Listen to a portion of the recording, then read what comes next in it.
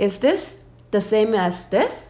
They may look similar at first glance, but let's take a closer look at the details here. The stitching isn't straight and is made of Velcro. Compared to this one, it's made of magnetic buttons hidden inside of the fabric because it's a fur wrap designed especially for luxury handbags. Versus the other one, it's a shoulder pad designed for seatbelt. So let me leave you with this question. Which one would you put on your luxury handbag?